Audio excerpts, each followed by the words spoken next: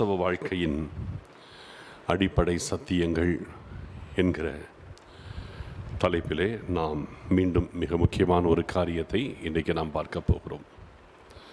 இன்றைக்கு நாம் பார்க்க போகிறது மிகவும் அவசியமான ஒரு காரியம். அது இந்த உலகத்திலும் நமக்கு ஆசீர்வாதம். எல்லாவற்றுக்கு மேலாக இந்த காரியத்தில்தான் நம்முடைய நித்தியமே அடங்கியிருக்கிறது. பரலோக ராஜ்யத்துக்குள் நாம் பிரவேசிப்பதற்கும் இது மிக்க முக்கியமான ஒரு காரியம். இன்றைக்கு நாம் பார்க்க போகிற விஷயம் நம்முடைய வாழ்க்கையில் எல்லா காரியத்திலும் பொதுவாக தெய்வ சித்தத்தை அறிவது எப்படி என்பதை நம்ம பார்க்க போகிறோம் ரொம்ப முக்கியமான விஷயம். ஏன்னா இந்த காரியத்தில் நிறைய பேர் எல்- நிறைய பேருக்கு இதில் ஒரு கேள்வி இருக்கிறது. நான் எடுத்திருக்கிற முடிவு சரிதானா? நான் செய்து கொண்டிருக்கிற காரியம் தெய்வ சித்தத்தில் தான் இருக்கிறேனா? இப்படி பல விஷயங்களில் பலருக்கு கேள்விகள் உண்டு. நிறைய பேர் தங்களுடைய பிள்ளைகளின் வாழ்க்கை குறித்தும் இந்த விஷயத்தில் யோசிப்பாங்க. பிள்ளைகளுக்கு திருமண விஷயம் அல்லது ஒரு தொழில் ஒன்று ஆரம்பிக்கிறோம். அது எந்த விஷயமானாலும் சரி இதில் தேவ சித்தம் இருக்குதா என்று சொல்லி அதை குறித்து மிகவும் பயப்படுகிறவர்கள் அங்கலாய்க்கிறவர்கள் உண்டு. இதில் தேவ சித்தத்தை செய்தவர்கள் ஆசிர்வதிக்கப்பட்டவர்களாய் மாறிடுவாங்க. ஆனால் தேவ சித்தம் இல்லாமல் ஒரு காரியம் அவங்க வாழ்க்கையில் நடந்துருச்சுன்னா அது அவங்களோட வாழ்க்கையில் மிகப்பெரிய பிரச்சனையாக அவங்களுடைய தொழில் அப்படி இருந்துச்சுன்னா அது ந- பெரிய நஷ்டமாக இழப்பாக கடன் பிரச்சனையில் போய் மாட்டி இப்படி எல்லா விதத்துலேயும் அவர்கள் பாதிக்கப்படுவது உண்டு. ஆனால் அவங்க கர்த்தரை தேடுறவங்களா தான் இருப்பாங்க. கதை கடைசியிலே அவர்கள் தேவ சித்தத்தை விட்டு விட்டதை யோசிக்கிறதை விட ஏன் கர்த்தர் என்னை இப்படி கைவிட்டுட்டாரு? ஏன் என்னை ஆசிர்வதிக்கலை? ஏன் இது நஷ்டமாச்சு? ஏன் இந்த காரியம் ஒரு பிரச்சனையாய் போய் முடிந்தது? என்று சொல்லி கடைசியிலே அதுவே அவங்களுக்கு கர்த்தருக்கு எதிராக கேள்விகளாக மாறிவிடுகிறதும் உண்டு. அதனால் இந்த விஷயத்தை நம்ம வந்து ரொம்ப கவனமாக பார்க்கணும். இது இந்த உலகத்தின் காரியத்திற்கு மாத்திரமல்ல பரலோகத்திற்கும் சார்ந்த விஷயம் என்று சொல்லி நான் சொன்னேன். ரொம்ப முக்கியம். ஏன்னா அடிக்கடி நான் அதிகமாய் பயன்படுத்துகிற ஒரு வசனம் தான் அதற்கு காரணம். இப்போவும் மீண்டும் சொல்லுகிறேன். மத்தேயு எழுதின சுவிசேஷம் ஏழாவது அதிகாரம் இருபத்தி ஓராவது வசனம். இதை நான் அடிக்கடி நான் அதிகமாய் பயன்படுத்துகிற வார்த்தை. என்னை பொறுத்த மட்டிலே வேதத்திலேயே எல்லா வசனமும் முக்கியம்தான். பட் என்னை பொறுத்தவட்டிலும் நான் வேதத்தில் இருக்கிற அத்தனை வசனங்களிலும் அதிக முக்கியமானதாக நான் கருதுகிறது. இது என்னுடைய கருத்து வேற ஒன்றும் கிடையாது. வேதத்தில் இருக்கிற அத்தனை வசனங்களிலும் அதிக முக்கியமான வசனமாக நான் கருதுகிறது. இந்த மத்தையு ஏழு இருபத்தி ஒன்று தான். இந்த ஒரு வசனத்தில் சகலத்தையும் கர்த்தர் அடக்கி விடுகிறார். பரலோகத்தில் இருக்கிற என் பிதாவின் சித்தத்தின்படி செய்கிறவனே பரலோக ராஜ்யத்தில் பிரவேசிப்பானே அல்லாமல் என்னை நோக்கி கர்த்தாவே கர்த்தாவே என்று சொல்லுகிறவன் அதில் பிரவேசிப்பது இல்லை என்று ஆண்டவர் சொன்னார். அப்போ இந்த தேவ சித்தம் என்கிற விஷயந்தான் நம்ம இந்த உலகத்திலையும் நம்மை நடத்துகிறது. உலக வாழ்க்கைக்கு பிறகு நாம் பரலோகத்திற்கு செல்லுகிறதிலும் இந்த தேவ சித்தம் என்கிற காரியம் மிக முக்கிய பங்கு வகிக்கிறதை நாம் புரிந்து கொள்ள வேண்டும். அதனால் தேவ சித்தம் என்பது அவ்வளவு முக்கியமான விஷயம். சரி ஒரு காரியத்திலே தெய்வ சித்தம் இதுதான் என்பதை நம்ம வந்து எப்படி நாம் தெரிந்து கொள்வது? அதற்கு முன்பதாக இந்த தெய்வ சித்தத்திலே நாம் இருப்பதனுடைய ஒரு மிகப்பெரிய ஒரு காரியத்தை நான் சொல்லிவிட்டு தெய்வ சித்தத்தை அறிவது எப்படி என்பதை நான் சொல்ல விரும்புகிறேன். தெய்வ சித்தத்திலே ஒரு நபர் தன்னுடைய வாழ்க்கையை நடத்தினால் நான் இன்னைக்கு வந்து ஒரு குறிப்பிட்ட காரியத்தை குறித்து பேசலை. சிலர் நிறைய பேர் வந்து பிள்ளைகளுடைய திருமணம் அவங்களுடைய திருமணம் இந்த விஷயத்தில் தான் மெயினாக இதை வந்து ரொம்ப யோசிப்பாங்க. நான் இன்றைக்கி இன்றைக்கி நான் அப்படி பேசலை அதை மட்டும் சொல்ல வரல. பொதுவாக உங்கள் வாழ்க்கையில் எந்த விஷயமானாலும் சரி தேவ சித்தம் என்கிற விஷயத்தில் வந்து நீங்கள் ரொம்ப தெளிவாக இருக்கணும். இந்த தேவ சித்தம் என்கிறது நம்ம வாழ்க்கையை வந்து ஆவிக்குரிய வாழ்க்கையை நம்மை பாதுகாப்பதற்கு ரொம்ப முக்கியம். இந்த தேவ சித்தத்தை குறித்து ஆண்டவர் ஒரே வசனத்தில் சொல்லிட்டார். பரலோகத்தில் இருக்கிற என் பிதாவின் சித்தத்தின்படி செய்கிறவனே பரலோக ராஜ்யத்தில் பிரவேசிப்பானை அல்லாமல் என்னை நோக்கி கர்த்தாவே கர்த்தாவே என்று சொல்லுகிறவன் அதில் பிரவேசிப்பது இல்லைன்ட்டார். அப்போது பிதாவின் சித்தத்தின்படி செய்கிறவனே அப்படின்னா அவன் மட்டும்தான்ட்டார். வேறு யாருமே பரலோகத்தோடு நுழைய முடியாதுன்ட்டார். இப்போ இந்த இடத்துல அவரை நோக்கி கர்த்தாவே கர்த்தாவே அப்படின்னு இயேசு கிறிஸ்துவை நோக்கி ஆண்டவரே ஆண்டவரே எனக்கு இறங்கும் அப்படின்னு சொல்லியெல்லாம் பரலோகத்தோடு நுழைஞ்சிட முடியாதுங்கிறார். ஏன்னா நிறைய பேர் வந்து இப்படி ஒரு தப்பு கணக்கு போடுவாங்க. ஆண்டவர் ரொம்ப இறக்கம் உள்ளவர் தானே. கடைசி நேரத்தில் ஆண்டவரே ஆண்டவரே என்னை ஏற்றுக்கொள்ளுங்க ஆண்டவரே என்னை மன்னிச்சிருங்க ஆண்டவரே என்னை ஏற்றுக்கொள்ளுங்க ஆண்டவரே அப்படின்னு கடைசி நேரத்தில் ஒரு மன்னிப்பு கேட்டு அப்படியே நேராக பரலோகத்துக்குள்ளே போயில நிறைய பேர் கணக்கு போட்டுருக்குறாங்க. அது தப்பு கணக்கு. புரியுதா? வாழ்கிற காலம் முழுவதும் தப்பாக வாழ்ந்துவிட்டு தெய்வ சித்தத்துக்கு மாறாக வாழ்ந்துவிட்டு இஷ்டம் போல வாழ்ந்துவிட்டு கடைசி நேரம் எப்படியும் கடைசி நேரத்தில் ஒரு அஞ்சு நிமிஷம் கிடைக்காதா? ஆண்டவரே இயேசுவே இயேசுவே என்னை மண்டி உடைய ரத்தத்தினால் என்னுடைய பாவத்தை கழுவும். அப்படிலாம் அவ்வளோ ஈஸி கிடையாது. ஒரு கள்ளனை போல அப்படி அப்படியே கடைசி நிமிஷத்தில் அப்படி போயிடலாம். அப்படின்னு நம்ம நினைக்கிறோம். கள்ளனுக்கு உண்மையாக சொல்கிற உண்மையான உண்மையான ஒரு கன்விக் கன்விக்ஷன் இருந்துச்சு. நாம் நடப்பித்தவைகளுக்கு தக்க பலனை அடைகிறோம். நாம் தகாதது இவரோ தகாததொன்றையும் நடப்பிக்கவில்லையே. எவ்வளோ ஒரு கன்விக்ஷன் இருந்துச்சு பாருங்கள் தன்னுடைய குறைவை குறித்து எவ்வளோ ஒரு உணர்வு அவனுக்கு இருந்துச்சு. அந்த நேரத்தில் இயேசு கிறிஸ்துவை குறித்த காரியம் அவனுக்கு தெளிவாக தெரிஞ்சது. அதை வைத்து இன்னொரு கள்ளனுக்கு அவன் ஒரு சிறு உபதேசம் வேற கொடுத்துட்டான். நாமோ நடப்பித்தவைகளுக்கு தக்க பலனை அடைகிறோம் அப்படின்னு அவனை கடிந்து கொண்டான். அப்போது இவ்வளவு காரியம் இருக்குது. நீ இவ்வளவு கொடிதான் ஆக்கியடிக்கு உட்பட்டவனாக இருந்தும் தேவனுக்கு பயப்படுகிறதில்லையான்னு ஒரு கேள்வி வேற கேட்டான். இவ்வளவு காரியத்தை அவன் செஞ்சுதான் இத்தனை விஷயத்துக்கு பிறகு தான் பரதேசக்குள்ளே நுழைஞ்சானே தவிர சும்மா கடைசி நேரத்தில் அப்படியே வந்து கர்த்தாவே கர்த்தாவே அவன் நுழைஞ்சல்ல. அது ஒன்றும் ஈஸி விஷயம் கிடையாது. அது அவனுக்கு கிருவையாய் ஆண்டவர் கொடுத்த ஒரு ஈவு அந்த நேரத்தில். ஆனால் கடைசி வரைக்கும் மனம் போட போக்கிலே தெரிந்தே அவனுக்கு வந்து கள்ளனுக்கு வந்து சத்தியம் தெரியாது. அதனால் அவனுக்கு கடைசி நிமிஷத்தில் ஒரு கிருவை கிடைச்சிருச்சு.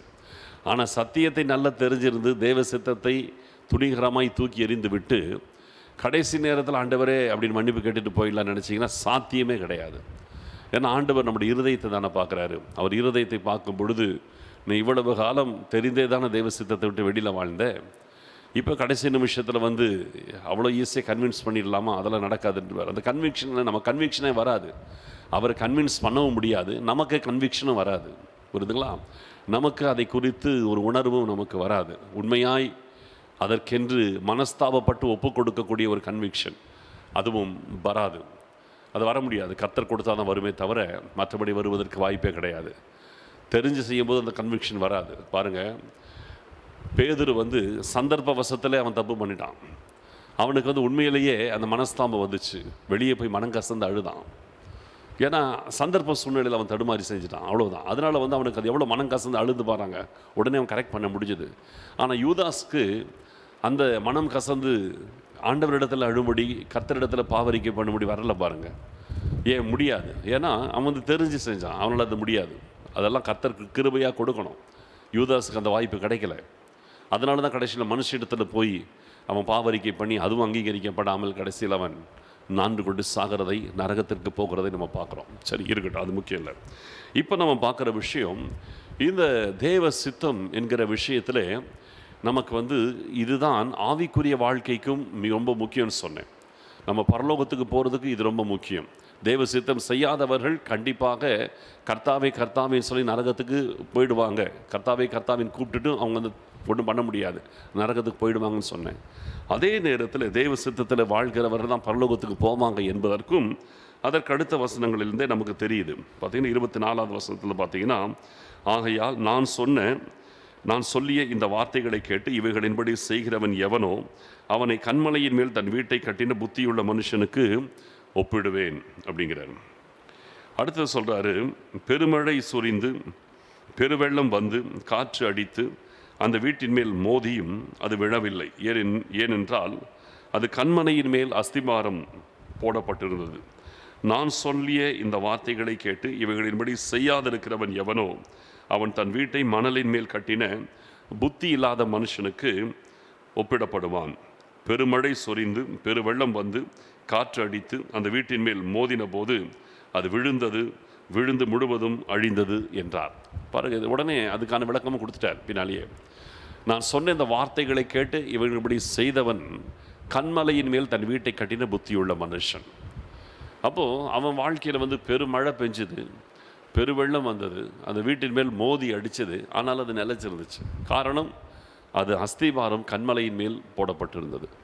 இன்னொருத்தனும் வீடு கட்டினான் அவனுடைய வீட்டின் மேலேயும் பெருமழை பெஞ்சது பெருவெள்ளம் வந்தது அந்த வீட்டின் மேலே மோடி மோதி அடிச்சது அது விழுந்துடுச்சு. காரணம் அது மணலின் மேல் அஸ்திபாரம் போடப்பட்டதாக இருந்தது. அப்போ இந்த இடத்துல என்ன சொல்கிறாரு இந்த அஸ்திபாரம் என்பது என்னன்னா தேவனுடைய வார்த்தை.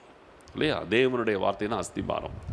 நான் சொன்ன இந்த வார்த்தைகளை கேட்டு இவைகளின்படி செய்கிறவன். இதுதான் அஸ்திபாரம். அப்போது தேவனுடைய சித்தம் என்றால் என்ன? அப்படின்னு சொல்லி கேட்டிங்கன்னா இந்த இடத்தில் ஆண்டவர் சொன்னதான தேவனுடைய வார்த்தை என்பது தான் தேவ சித்தம். தேவ வசனத்தின் மேல் அஸ்திவாரம் போடப்பட்டவன் அவன் தேவ வசனத்தின் மேல் அஸ்திவாரம் போடப்பட்டவன் அவன் தேவ சித்தத்திலே அஸ்திவாரம் போடப்பட்டவனாக இருக்கிறான். நல்லா புரிஞ்சுக்கணும். வேத வசனத்தின் மேல் அஸ்திபாரம் போடுகிறவன் வசனத்தின் அடிப்படையிலே தன் வாழ்க்கையை அமைத்து கொள்ளுகிறவன் அவன் தேவ சித்தத்திலே தன் வாழ்க்கையை அமைத்திருக்கிறான். அதனாலே அவன் வாழ்க்கையின் மேல் பெருமழை வரும். பெருவெள்ளம் வரும். ரெண்டு வீட்டுக்குமே மழை பெரு மழை பெஞ்சுது ரெண்டு வீட்டின் மேலேயும் பெருவெள்ளம் வந்துச்சு. ரெண்டு வீட்டின் மேலேயும் மோதி அடிச்சுது. ஆனால் வசனத்தின் மேல் அதாவது தேவ சித்தத்தில் கட்டப்பட்ட அதன் அடிப்படையிலே கட்டி அமைக்கப்பட்ட ஆவிக்குரிய வாழ்க்கை எத்தனை போராட்டங்கள் வந்து அந்த வாழ்க்கையின் மேல் மோதி அடித்தாலும் அது நிலைத்திருக்கும். ஆனால் வேத வசனம் இல்லாமல் வேறு ஏதோ ஒரு காரியத்தின் மேல் ஒருவர் தன்னுடைய ஆவிக்குரிய காரியத்தை அவங்க ஸ்தாபிப்பார்கள் என்றால் அவங்களுடைய வாழ்க்கையிலே சோதனைகளும் பிரச்சனைகளும் போராட்டங்கள் வரும் பொழுது அவர்கள் உடைஞ்சு முடிந்து போய் விடுவார்கள் அவருடைய காரியம் முற்றிலும் அழிந்து போய்விடும். ஆவிக்குரிய வாழ்க்கை அழிஞ்சிடும் இன்றைக்கி நிறைய பேருடைய வாழ்க்கை பார்த்திங்கன்னா ஆரம்பத்தில் நல்ல ஆவிக்குரிய வாழ்க்கையை தொடங்கி வைராக்கியமாக தொடங்குவாங்க. ஆனால் ஒரு கட்டத்தில் பின்வாங்கி போய் ஒன்றுமில்லாமல் அவங்க சதறி போயிடுறாங்க. ஆவிக்குரிய வாழ்க்கையை இழந்து பின்மாற்றத்துக்குள் போய் கர்த்தரை மறுதளித்து கடைசியில் நித்தியத்தை அவங்க இறந்து இழந்துடுறாங்க. பரலோக பாக்கியத்தை இழந்துடுறாங்க. வாழ்கிறாங்க ஆனால் கண்டிப்பாக தெரியும். அவங்களுக்கே தெரியும். தாங்கள் வந்து தெய்வ சித்தத்தில் இல்லை நாங்கள் பரலோகத்துக்கு நுழைய முடியாதுன்னு. ஆனாலும் கூட அதை குறித்து உணர்வே வராது. ஒரு லெவலுக்கு மேலே தாண்டி போயிடுச்சுன்னா உணர்வு வராது. தெரிந்தே போய் கடைசியில் நரகத்தில் போய் இறங்கிடுவாங்க. அவங்களுக்கே தெரியும். நான் எங்கே போயிட்டுருக்கிறோன்னு அவங்களுக்கு தெரியும். ஆனால் அவங்க வந்து ட்ராக்கை திருப்பி மாற்ற முடியாது. ஒரு சைடு ட்ராக் மாறி போயிடுச்சுன்னா தேவ சித்தத்தை விட்டு வெளியே போயிட்டாங்கன்னா தெரிஞ்சே போயிட்டாங்கன்னா திருப்பி அவங்கள கொண்டு வந்து நிற்க வைக்கிறதுன்றது முடியவே முடியாது. ரொம்ப கஷ்டம். முடியாது. கஷ்டம் அல்ல முடியவே முடியாது. ரொம்ப போராட்டமாய் போயிடும். அதனாலே வேத வசனம்தான் தேவ சித்தம். வேத வசனத்தின் அடிப்படையிலே நாம் எந்த காரியத்தை செய்தாலும் அது நமக்கு நிலைத்திருக்கும். வேத வசனம் இல்லாமல் வேறு எந்த காரியத்தையும் நீங்கள் அந்த அடிப்படை இல்லாமல் வேறு எந்த காரியத்தை நீங்கள் செய்தாலும் அது உங்களுக்கு நிலைத்திருக்காது என்று ஆண்டவர் சொல்கிறார் அது உங்களோட ஆவிக்குரிய வாழ்க்கையாக இருக்கலாம் அது உங்கள் குடும்ப வாழ்க்கையாக இருக்கலாம் உங்கள் தொழிலாக இருக்கலாம் வேறு எந்த விஷயமா இருக்கலாம் அதில் வந்து நிலைத்திருப்பது சற்று முடியாத காரியமாயிடும். தேவ சித்தம் தான் ரொம்ப முக்கியமான விஷயம். அப்போ தேவனுடைய சித்தம் என்பது வசனத்தின் அடிப்படையிலே இருப்பது மட்டும்தான் தேவ சித்தம் என்று ஆண்டவர் சொல்கிறார் அதனால் நம் கையில் கர்த்தர் கொடுத்திருக்கிற வேத புத்தகம் முழுக்க முழுக்க முழுக்க தேவ சித்தமாக இருக்கிறது. வேத வசனத்தையே நீங்கள் ஆராய்ந்து பார்க்கணும். வேத வசனத்தில் எப்படி ஆண்டவர் எதை செய்ய சொல்கிறாரு எதை செய்யக்கூடாதுன்னு சொல்கிறாரு இதை நீங்கள் நன்கு அறிந்து கொள்ள வேண்டும் புரிந்து கொள்ள வேண்டும். அதில் எந்த காரியங்களை கர்த்தர் நேரடியாக சொன்னாலும் சரி சிலது மறைமுகமாக இருக்கும் சிலது பார்த்தீங்கன்னா சிலருடைய வாழ்க்கையிலே நடக்கிற சம்பவங்களாக இருக்கும். அப்போ அதெல்லாம் நீங்கள் பார்த்துட்டு நீங்கள் என்ன செய்யணும்? நீங்கள் புரிஞ்சுக்கணும். ஒருத்தர் வந்து பைபிளில் நீங்கள் பார்த்தீங்கன்னா ஒரு நபர் தவறான ஒரு காரியத்தை செய்வார். அதனாலே அவர்கள் வந்து பாதிக்கப்படுவாங்க. அப்போ நீங்கள் அதை பார்த்தோன்னே புரிஞ்சுக்கணும். அங்கே தேவ சித்தன வார்த்தையெல்லாம் இருக்காது. ஆனால் அவங்க செஞ்ச அந்த தவறான காரியம் அவங்க வாழ்க்கையில் மிகப்பெரிய பாதிப்பை ஏற்படுத்தும். அதை பார்த்து தெரிஞ்சுக்கணும். ஓ இது தேவ சித்தம் இல்லை. இப்போ தாவீதுடைய வாழ்க்கை எடுத்துக்கொடுங்க அவன் வாழ்க்கை முழுவதும் அருமையான வாழ்க்கை. ஆனால் அந்த உரியாவின் மனைவியாகிய பத்சேபாலான விஷயம் ஒன்றை தவிர வேறு எதிலையுமே அவன் தவறலன்னு பைபிளில் போட்டிருக்கு. அந்த ஒரு விஷயத்தில் அவன் பாதிக்கப்பட்டான். அப்போ என்ன தெரியுது? அது தேவ சித்தம் இல்லைன்னு தெரியுது. அப்போ நம்ம வந்து எந்த விஷயமானாலும் எடுத்துக்கொள்ளலாம். ஒரு காரியம் அது வந்து ஒரு நபருக்கு பாதிப்பை உண்டு பண்ணுகிறதான ஒரு சம்பவம் பைபிள் இருக்குது அப்படின்னா அந்த காரியம் நிச்சயமாகவே அவன் பாதிக்கப்பட்டான் என்று ஏன் பைபிள் எழுதியிருக்குது? அவன் தேவ சித்தத்துக்கு மாறா செஞ்சதுனால தான் அவன் பாதிக்கப்பட்டான். அதே போல காரியத்தை நீயும் செஞ்சினா நீயும் பாதிக்கப்படுவ. காரணம் அது தேவ சித்தம் இல்லை. அதுதான் நமக்கு அந்த சம்பவம் நமக்கு சொல்லுது. அதனால் எல்லா இடத்துலையும் தேவ சித்தம் தேவ சித்தம் நீங்கள் வார்த்தையை தேடணும்னு அவசியம் கிடையாது. நேரடியாக சில காரியங்கள் தேவ சித்தம்னு இருக்கும். அதை நீங்கள் பரி படித்து புரிந்து கொள்ளலாம். இப்படி செய்யணும்னு உபதேசம் இருக்கும். அதை செஞ்சுட்டே போயிட்டே இருக்கணும். இப்படி செய்யக்கூடாதுன்னு சில விஷயம் இருக்கும். அதை செய்யாமல் இருக்க வேண்டும். இது நேரடி உபதேசங்கள். இதை அப்படி எடுத்துக்கணும். அதே போல் சிலருடைய வாழ்க்கையிலே நீங்கள் பார்க்கும் பொழுது ஒவ்வொருத்தருடைய வாழ்க்கையில நீங்கள் பார்த்து தேவ சித்தத்தை நீங்கள் புரிந்து கொள்ளணும். இது தேவ சித்தம் தானா? இது தேவ சித்தம் இல்லையா? நீங்கள் நீங்கள் நீங்கள் படிச்சீங்களா? பைபிளில் இருக்கிற ஒவ்வொரு சம்பவத்தை நீங்கள் படிச்சீங்கனாலே உங்களுக்கு புரிஞ்சிடும் எந்த காரியம் தேவ சித்தம்? எது தேவ சித்தம் இல்லை? யார் யார் என்னென்ன தப்பு செஞ்சு எப்படி பாதிக்கப்பட்டாங்க? இல்லையா? நீங்கள் பார்த்தீங்கன்னா தெரியும். இப்போது பார்த்தீங்கன்னா பைபிள் எல்லா கேரக்டர் ஆதாமியாவிலேருந்து நீங்கள் பார்க்கலாம். தேவனாகிய கர்த்தர் வந்து தோட்டத்தில் இருக்கிற விருட்சத்தின் நன்மை தீமை அறியத்தக்க விருட்சத்தின் கனியை பறித்து புசிக்க கூடாதுன்னு சொல்லிட்டாரு. அப்போ அது புசியாமல் இருப்பது தேவ சித்தம். அவ்வளவுதான். மாற்று கருத்தே கிடையாது. அதுக்கு பிறகு வேற வார்த்தையே கிடையாது. இதை புசிக்கும் நாளிலே நீ சாகவே சாவாயின்னு சொல்லிட்டானா முடிஞ்சு போச்சு. அதுக்கு பிறகு நம்ம வந்து சரி கொஞ்சம் எடுத்து பார்த்தா கையில் எடுத்து பார்த்தா என்ன? அப்புறம் நம்ம பார்த்துட்டு மோந்து பார்த்துட்டு வச்சுட்டா என்ன? இந்த மாதிரிலாம் நம்ம ட்ரை பண்ணால் தான் கடைசியில் பிரச்சனை வரும். அங்கே தான் அவங்க வந்து தவறி போகிறது அப்போது தேவ சித்தம்னா ஆண்டவர் ஒரு வார்த்தை நேரடியாக சொல்லிட்டார்னா அவ்வளோதான் முடிஞ்சு போச்சு. அப்போ ஆதாம் ஏவாள் இந்த விஷயத்தில் மீறும்போது என்ன நடந்துச்சு? ஆட்டோமேட்டிக்காக அவங்களோட கர்த்தர் கொடுத்த எல்லா நன்மைகளையும் இழந்து போனாங்க. அதே போல் தேவ சித்தத்தை நாம் தவற விடும் பொழுது ஆண்டவர் கொடுத்த நன்மைகளை நாம் இழந்து போவோம் என்பது ஆதாமி அவருடைய வாழ்க்கையிலிருந்து நமக்கு சாட்சி. இப்படி இது போல் எடுத்துக்கணும். ஒவ்வொரு காரியத்தையும் நீங்கள் அப்படியே எடுத்துக்கணும். ஆகையினால் முதலாவது வேத வசனத்தை நீங்கள் கருத்தோடு வாசிக்கணும். அதில் இருக்கிற நேரடி உபதேசங்கள் செய்யும்படி உனக்கு நமக்கு சொல்லியிருக்கிற காரியங்கள் செய்யக்கூடாது என்று சொல்லி எச்சரிக்கிற காரியங்கள் இதை உள்ளதை உள்ளபடி அப்படியே ஏற்றுக்கணும் உள்ளதை உள்ளபடி ஏற்றுக்கணும் இதில் வந்து காம்ப்ரமைஸிங் இடம் கிடையாது. இது ஆல்டர்னேட்டிவை நம்ம ஆல்டர் பண்ண முடியாது. வேத வசனத்தை வந்து மாற்றி அமைக்க முடியாது. ஆல்டர் பண்ண முடியாது. இப்படின்னா அது அப்படிதான் அவ்வளோதான் அதற்கு நம்ம வேறு காரணத்தை சொல்ல முடியாது. இந்த காலத்தில் அது சாத்தியமா? இந்த காலத்தில் அது நடக்கிற விஷயமா? இது அந்த காலத்தில் எழுதுனது இன்றைக்கி இதெல்லாம் நடக்கிற காரியமா? நிறைய பேர் என்ன செய்வாங்க? காலத்துக்கு ஏற்ற மாதிரி பைபிளை மாற்ற நினைப்பாங்க. அது நடக்க அது ஆண்டவர் ஒத்துக்கொள்ள மாட்டார். வேதம் எல்லா காலத்துக்கும் ஒரே வேத புத்தகம் தான் புரியுதுங்களா? அதனால் அந்த காலத்துக்கு ஒத்து வரும் இந்த காலத்துக்கு ஒத்து வராது என்று சொல்லி நம்ம எதையுமே மாற்றி அமைக்க நமக்கு முடியாது. அதை நம்ம செய்வதற்கு கர்த்தர் அங்கீகாரம் கொடுக்க கொடுக்கவில்லை. அதனால் முதலாவது தேவ சித்தம் என்பதை நீங்கள் வசனத்தின் மூலமாக நல்லா படித்து தரவாருங்க. வேதத்தில் நல்லா தரவாருங்க. புது குறிப்பாய் புதிய ஏற்பாட்டு சத்தியங்களில் நல்லா தரவாருங்க. புதிய ஏற்பாட்டு சத்தியம் என்ன சொல்லுகிறது எப்படி வாழ வேண்டும்? ஏன்னா இந்த ஸ்டாண்டர்ட் தான் இன்றைக்கி நம்மளை கர்த்தர் எதிர்பார்க்குறது. பழைய ஏற்பாட்டு ஸ்டாண்டர்டு வந்து நீங்கள் சாட்சிகளை நீங்கள் பார்த்து தெரிஞ்சுக்கலாம். நான் சொன்னது போல் தாவீது சிம்சோனு இது போல் பா பல காரியத்தை பார்த்துக்கலாம். அதே நேரத்தில் தேவ சித்தத்தின்படி வாழ்ந்து ஆசீர்வதிக்கப்பட்டவங்கள பற்றி நிறைய சாட்சிகள் இருக்குது. அதெல்லாத்தையும் கூட நீங்கள் பார்த்துக்கலாம். இப்போ மோசையெல்லாம் போனது மோசையை கத்த நடத்தினது சாமியருடைய வாழ்க்கையிலே அவர் தேவ சித்தத்தின்படி கத்தரை பணிந்து கொண்டது. இதனால நாம் எப்படி உயர்த்தப்பட்டான்? யோசேப்பு எப்படி தேவ சித்தத்தில் பொறுமையாக இருந்தான்? அதனால் எப்படி அவனை கத்தர் உயர்த்தினார்? தானியல் இதெல்லாம் நம்ம சம்பவத்தை பார்த்து தெரிஞ்சுக்கலாம். ஆனால் புதிய ஏற்பாட்டிலே பார்த்தீங்கன்னா சம்பவங்கள் மட்டுமல்ல ஒவ்வொரு வார்த்தைகளும் உங்களுக்கு தேவ சித்தத்தை சொல்லிக் கொடுக்கும். பழைய ஏற்பாடு சம்பவங்களின் மூலமாய் தேவ சித்தத்தை நீங்கள் பார்த்து தெரிஞ்சுக்கணும். இதே மாதிரி காரியத்தை ஒருத்தர் செஞ்சு பாதிக்கப்பட்டாங்க இந்த காரியத்தை செஞ்சு ஆசீர்வதிக்கப்பட்டாங்க அதை வச்சு நீங்கள் பிடிச்சிக்கணும். ஆனால் புதிய ஏற்பாட்டை நீங்கள் படிக்கும்போது என்றைக்குமே தேவ சித்தத்தை எப்படி புரியுறது? எழுதியிருக்கிற அத்தனை வார்த்தைகளையும் அப்படியே நீங்கள் பிடிச்சிக்கணும். வேத வசனங்கள் என்ன சொல்லுகிறதோ அது அப்படியே எழுத்தின்படியே பிடிச்சிக்கிடும். அவ்வளோதான் இதில் வந்து புதிய ஏற்பாட்டில் எந்த விதமான மறைவுகளே கிடையாது. எல்லாம் வெளிப்படையாக இருக்குது. பழைய ஏற்பாடு தான் நெடல். புதிய ஏற்பாடு நிஜம். நெஜன்னு வந்துட்ட பிறகு அதில் ஒளிவு மறைவுன்றதே கிடையாது. உள்ளதை உள்ளதென்று இயேசு கிறிஸ்து சொல்லிட்டார். உள்ளதை உள்ளதென்றும் இல்லதை இல்லதென்றும் ஓப்பனாக சொல்லிட்டார். அதனால இதை நீங்கள் அப்படியே பார்த்து அப்படியே படித்து அப்படியே ஏற்றுக்கொள்ளணும். அவ்வளோதான் முடிஞ்சு போச்சு. சரி. இது பொதுவாக நான் சொல்கிற விஷயம். பொதுவாக நீங்கள் தேவ சித்தத்தை குறித்த ஒரு அறிவு நமக்கு வந்து இருக்கணும். இந்த தேவ சித்தத்தை குறித்த ஒரு அறிவுங்கிறது நமக்கு இருந்தால் மட்டும்தான் நம்ம வந்து தேவ சித்தத்திலே நம்ம நிலைச்சிருக்க முடியும். இந்த ஒரு அறிவு நமக்கு கண்டிப்பாக இருக்க வேண்டியது அவசியமானதாக இருக்கிறது. நீங்கள் பாருங்கள் ஒரு வசனத்தை நான் உங்களுக்கு காட்டுறேன் பாருங்கள் எபேசியருக்கு எழுதின நிருபம் ஐந்தாவது அதிகாரம் பத்தாவது வசனத்தை நான் வாசிக்கிறேன் பாருங்க.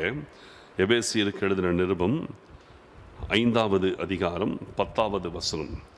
கர்த்தருக்கு பிரியமானது இன்னதென்று நீங்கள் சோதித்து பாருங்கள். இல்லையா? கர்த்தருக்கு பிரியமானது இன்னதென்பதை நாம் என்ன செய்யணும்? வேதத்தின் அடிப்படையிலே நாம் சோதித்து நாம் பார்க்க வேண்டும். வேத வசனத்தின் அடிப்படையிலே நாம் அதை தெரிந்து கொள்ள வேண்டியது சோதித்து பார்த்து அறிந்து கொள்ள வேண்டியது அவசியமாக இருக்கிறது அப்போ வேத வசனத்தின் மூலமாக நீங்கள் தேவ சித்தத்தை நீங்கள் நேரடியாக வசனத்தின் அடிப்படையிலே நீங்கள் புரிந்து கொள்ள வேண்டும். இன்னொரு வசனத்தை வாசிக்கிற பாருங்க. அதே எபேசியன் அஞ்சாம் அதிகாரத்தில் பதினேழாம் வசனம் பத்தாவது வசனம் அடுத்து பதினேழாம் வசனத்தை வாசிக்கிற பாருங்க. இது இன்னும் தெளிவாக இருக்கு பாருங்க.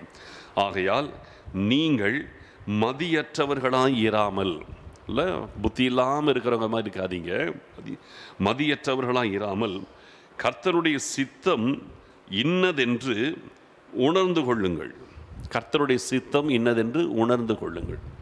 அப்போ தேவ சித்தத்தை எப்படி உணர்ந்து கொள்ள வேண்டும்? இல்லையா? இதை மத் இதை அஞ்சு பதினேழில் பவுல் அழகாக சொல்கிறார் கர்த்தருக்கு சித்தமானது இன்னதென்பதை நீங்கள் உணர்ந்து கொள்ளுங்கள். எப்படி உணர முடியும்? இதுதான் வேத வசனத்தின் அறிவு நமக்கு இருக்கணும்.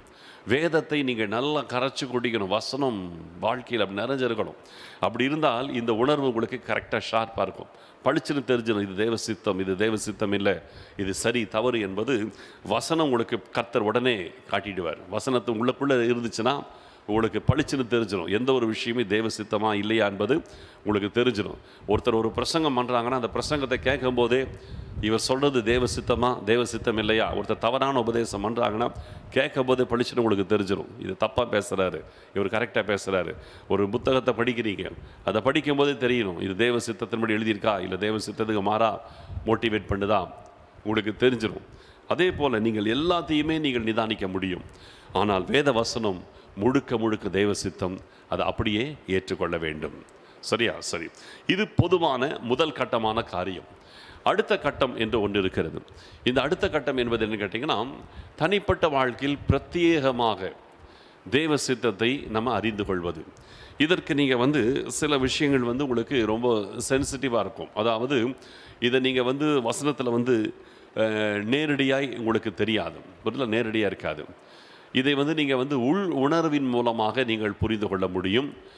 அதற்கு நம்ம என்ன செய்யணுங்கிறத நான் உங்களுக்கு சொல்கிறேன் உள் உணர்வினால நீங்கள் தெய்வ சித்தத்தை அறிய முடியும். சிலது நேரடியாகவே வசனத்தில் இப்படி இருக்கணும்னு இருக்குது. இப்போ சாந்த குணம் உள்ளவர்கள் வாக்கியவான்கள் அப்படின்னா நீ கோபக்காரனாக இருக்காத. கோபக்காரனாக இருப்பது தெய்வ சித்தம் கிடையாது. சாந்தமாக இருப்பது தெய்வ சித்தம். அவ்வளோதான் ரிவர்ஸில் எடுத்துக்கணும். ரிவர்ஸ்லையும் எடுத்துக்கணும். ரைட் கரெக்டாகவும் எடுத்துக்கணும். இருதயத்தில் சுத்தமுள்ளவர்கள் பாக்கியவான்கள் அப்படி படிக்கிறீங்களா? அப்போ இருதயத்தில் சுத்தமாக இருப்பது தேவ சித்தம். இருதயத்தில் சுத்தம் இல்லாமல் கசப்பு எரிச்சல் கோபம் வைராக்கியம் அசுத்தம் இப்படிப்பட்ட எண்ணங்கள் இருந்துச்சுன்னா அது தேவ சித்தம் இல்லாத ஒரு வாழ்க்கை. அவ்வளோதான் அப்படி எடுத்துக்கணும். இப்படியும் பார்க்கணும் அப்படியும் பார்க்கணும். ரெண்டு விதத்தில் நீங்கள் பார்த்து நீங்கள் வசனத்துலேருந்து நீங்கள் தெரிஞ்சுக்கலாம். இது நடைமுறையிலே உங்களுக்கு தெரிந்து கொள்ள வேண்டிய தெய்வ சித்தம். ஆனால் அடுத்த ஒரு காரியம் என்னென்னா உங்கள் வாழ்க்கையில் தனிப்பட்ட விதத்தில் நீங்கள் முடிவெடுக்க வேண்டிய சில விஷயங்கள் வரும். அது என்ன வேணாலும் இருக்கலாம்.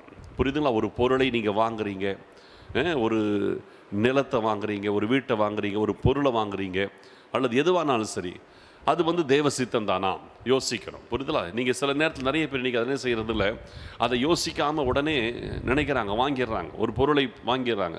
கடைசியில் அதை வாங்கிட்டு அதுக்கு பணத்தை கட்ட முடியாமல் அதில் கடனை வாங்கி பிரச்சனையில் மாட்டி கடைசியில் அவர்கள் போய் அதில் வாழ்க்கையே சீரழிந்து போய் விடுகிறது. ஏன்? தெய்வ சித்தம் இல்லாமல் வாங்குறது. தெய்வ சித்தம் இல்லாமல் ஒரு இடத்துல போய் பணத்தை போடுறது. தெய்வ சித்தம் இல்லாமல் இன்வெஸ்ட் பண்ணுறது தெய்வ சித்தம் இல்லாமல் ஏதாவது ஒரு பிஸ்னஸில் பணத்தை போடுறது. தெய்வ சித்தம் இல்லாமல் ஒரு காரியத்தில் இன்வெஸ்ட் பண்ணுறது கடைசியில் போய் மாட்டிக்கிட்டு எல்லாம் ஏகப்பட்ட நஷ்டம் பிரச்சனை எல்லாம் பிரச்சனை ஆகிடும் முதலாவது நான் சொல்கிறேன் கடன் வாங்குவதே தேவ சித்தம் கிடையாது. அது இல்லாமல் தேவ சித்தத்தை நம்ம எடுத்துக்கவே முடியாது. அப்போ அதெல்லாம் போகும்போது நிறைய பேர் அப்படி தான் போய் மாட்டிக்கிறோம். மாட்டிக்கிட்டு கடைசியில் ஏன் கர்த்தர் என்ன வந்து கைவிட்டுட்டாரு? இல்லை இல்லை. நம்ம தான் தேவ சித்தத்துக்கு மாற தப்பு செஞ்சோம். இதெல்லாத்தையும் நீங்கள் என்ன செய்யணும்? உள் உணர்வின் மூலமாக நீங்கள் தெரியணும். இந்த காரியத்தில் நான் இந்த காரியத்தில் ஈடுபடலாமா? இந்த பொருளை வாங்கலாமா? இது நல்ல பொருளாக தான் இருக்கும். எல்லாரும் வச்சுருப்பாங்க. பட் அதை நான் வாங்கலாமா? எனக்கு அது தேவ சித்தமா? யோசிக்கணும். அவங்க வச்சுருக்கிறாங்க இவங்க வச்சுருக்கிறாங்க நம்ம எதையுமே நம்ம என்ன செய்ய முடியாது? நானும் வச்சுக்கணும் அப்படின்னு நம்ம நினைக்க முடியாது. எனக்கு இது தேவ சித்தமா? என்பதை நம்ம வாழ்க்கையில் வந்து தெரிஞ்சுக்கணும். ஆண்டவர் வந்து இந்த விஷயத்தில் கண்டிப்பாக சொல்கிறேன் உங்களுக்கு உதவி செய்வார். இந்த விஷயத்தில் நீங்கள் மட்டும் ஆண்டவர்கிட்ட நீங்கள் வந்து நின்னீங்கன்னா இந்த காரியம் எனக்கு கர்த்தர் செய்வது தெய்வ சித்தமான்றது நீங்கள் ஒரு வாஞ்ச மட்டும் உங்களுக்கு இருந்து ஆண்டவர் அதை உங்களுக்கு தெரியப்படுத்தணும்னு மட்டும் ஆசைப்பட்டீங்கன்னா ஸ்பாட்லேயே கர்த்தர் உங்களுக்கு சொல்லிக் கொடுப்பார். புரியுதா உங்களுக்கு? கண்டிப்பாக சொல்லிக் கொடுப்பார். இப்போ இவங்க வச்சுருக்கிறாங்க இவங்க வச்சுருக்காங்க நான் வச்சுக்கலாமா வேண்டாமா நான் வாங்கலாமா வேண்டாமா? இப்படி ஒரு காரியம் உங்களுக்கு குழப்பம் வருது. ஆண்டவர்கிட்ட நீங்கள் நேரடியாக பேசி பாருங்கள் நிச்சயம் ஆண்டவர் உங்களுக்கு தெளிவுபடுத்துவார். சந்தேகமே கிடையாது. ரொம்ப சிம்பிள் ஒரே வசனம் பாருங்க உங்களுக்கு ஒரு சம்பவத்தில் என்ன படிக்க வேண்டாம் அப்படின்னு சொல்லிட்டு போகிறேன் மத்தேயு எட்டாம் அதிகாரத்தில் முதல் நாலு வசனங்களை படித்து பாருங்க ஒரு சின்ன சம்பவம் அது. இயேசு கிறிஸ்து மலை பிரசங்கத்தெல்லாம் முடிச்சுட்டு இறங்கி வரார் மலையை விட்டு இறங்கி வரார். இறங்கி வரும்பொழுது ஒரு குஷ்டரோகி வருவான். வந்து அவருக்கு முன்பாக முழங்கால் படிட்டு அவரை பணிந்து கொண்டு அழகாக கேட்பான் ஆண்டவரே உமக்கு சித்தமானால் என்னை சுத்தமாக்க உம்மால் ஆகும். என்ன அழகான ஒரு சின்ன ஜெபம் ஆனால் அற்புதமான ஜெபம். ஆண்டவரே உமக்கு சித்தமானால் என்னை சுத்தமாக்க உமாலாகும். உடனே ஆண்டவர் பாருங்கள் எனக்கு சித்தம் உண்டு சுத்தமாக. தொட்டு உடனே சுகமாக்கிட்டு போயிட்டே இருந்துட்டார். எவ்வளவு கிளியராக நடந்துச்சு பாருங்க. இப்போது இவனுடைய காரியம் பாருங்க ஆண்டவரால் சுகமாக்க முடியுமா முடியாதான்றது அவனுக்கு பிரச்சனையே கிடையாது. இயேசு கிறிஸ்துவினால் குஷ்டரோகத்தை சுகமாக்க முடியுன்றது அவனுக்கு நல்லா தெரியும். அவனுக்கு செஞ்சிருக்கிறார் இவனுக்கு செஞ்சிருக்கிறார் இவனுக்கு செஞ்சிருக்கிறார் எல்லாத்துக்கும் செஞ்சிருக்கிறார். சரி எனக்கு அவர் செய்வது தேவ சித்தமா? எனக்கு அவர் செய்யறது அவருடைய சித்தமா? இத்தனை பேரை சுகமாக்கி இருக்கிறார் ஆனால் என்னை அவர் சுகமாக்குறது தேவ சித்தமா? இதுதான் அவனுக்கு கேள்வி. பாருங்க நல்ல சென்சிட்டிவான மனுஷன் அவன். ஒரு சு- வியாதியில் அவன் எவ்வளவு பிரச்சனையோடு இருந்திருக்கிறான் அவ்வளவு பிரச்சனையோடு இருந்தும் கூட அந்த சுகத்தை கூட தேவ சித்தமானால் பெற்றுக்கொள்ளுகிறேன். தேவ சித்தம் இல்லைன்னா எனக்கு இந்த சுகம் கூட வேணாம்னு நினைக்கிறான் பாருங்க. அற்புதமான மனுஷன் அவன். இந்த மனுஷனை கண்டிப்பாக பாராட்ட வேண்டிய மனுஷன். எவ்வளவு தூரம் அந்த உபதே அந்த குஷ்ரோகத்தில் அவன் சஃபர் பண்ணியிருப்பான் யோசிச்சு பாருங்க. இன்னைக்கு மாதிரி கிடையாது.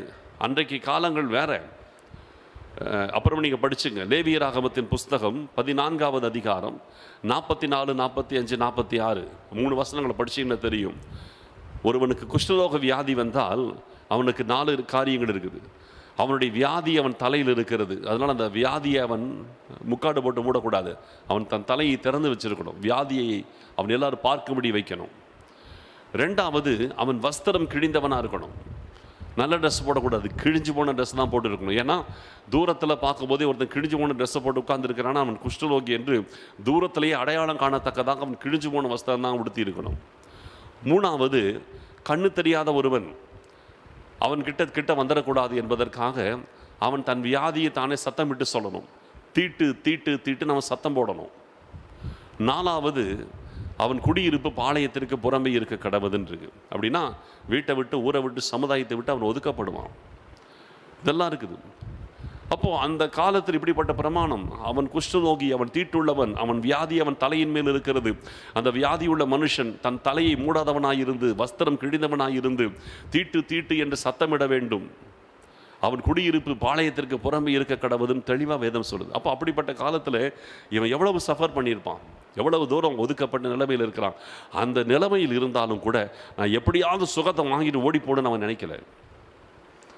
மற்றவனுக்கெல்லாம் நடந்துச்சு ரைட்டு. ஆனால் எனக்கு இது தேவைதான். இந்த தெய்வீக சுகம் இந்த குஷ்டரோக வியாதிலிருந்து எனக்கு விடுதலை தேவைதான். ஆனால் தேவையானாலும் இது தேவ சித்தமானால் நான் பெற்றுக்கொள்கிறேன் இது எனக்கு தேவைங்கிறதுனால அது எனக்கு நடக்கணும்னு கிடையாது. தெய்வ சித்தமானால் அது எனக்கு கிடைக்கட்டும். தெய்வ சித்தம் இல்லாட்டி எனக்கு தேவையானது என்பதனால் அது எனக்கு வரணும்னு அவசியமே இல்லை நினைச்சான் பாருங்க. இவன் தான் மனுஷன். அற்புதமான மனுஷன். இது எவ்வளவு அவசியமான ஒரு சுகம் அவனுக்கு தேவை. ஆனால் அது கூட தேவ சித்தமானால் தான் கிடைக்கட்டும். இல்லைன்னா வேண்டான்ட்டான் பாருங்க. உமக்கு சித்தமானால் என்னை சுத்தமாக்குமாலாகும் உமக்கு சித்தம் இல்லைன்னா வேண்டாம் அதான் அர்த்தம். ஆண்டவர் ரொம்ப ப்ளீஸ் ஆயிட்டார். உடனே தன் கையை நீட்டி அவனை தொட்டுட்டாரு.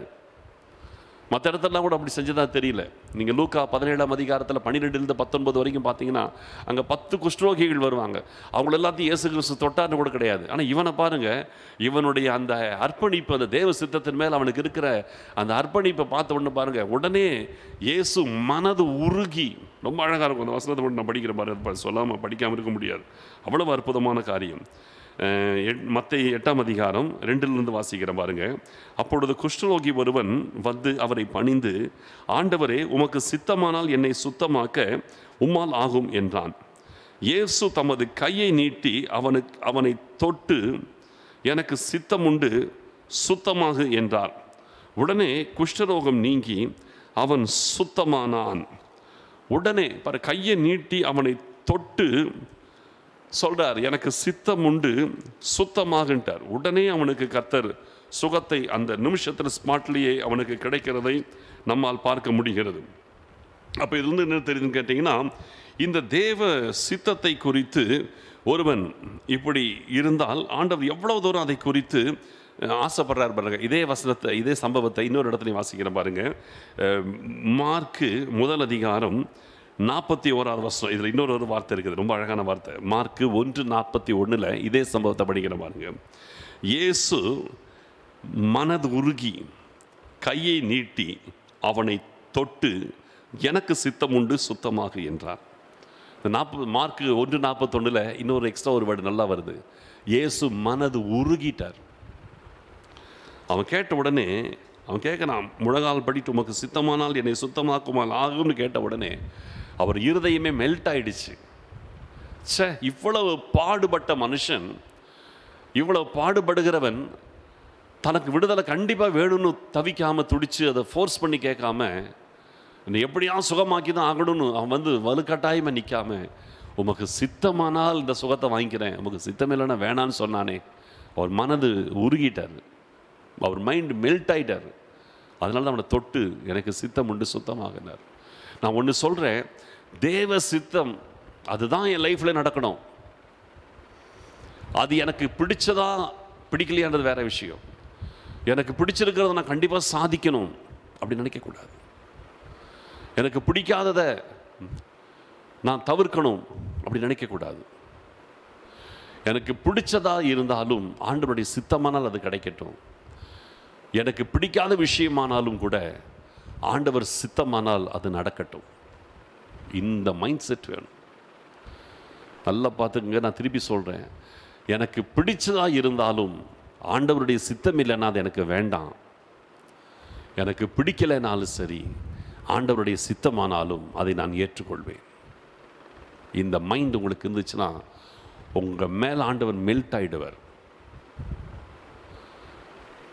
உங்களுடைய இருதயத்தை பார்த்தா உங்கள் மேலே அவர் மெல்ட் ஆயிடுவார் இயேசு கிறிஸ்து. மனது உருகிட்டார். உருகி அவனை தொட்டுட்டார் உடனே. அவன் அந்த நிலைமையில் இருந்தால் அவனை தொடர்றார் எந்த யோசிக்கிற உடனே அவனை தொடர்றார் அந்த காலத்தில் சட்டத்திட்டத்தின்படி குஷ்டரோக வியாதியோட பக்கத்திலே போடக்கூடாது போகக்கூடாது.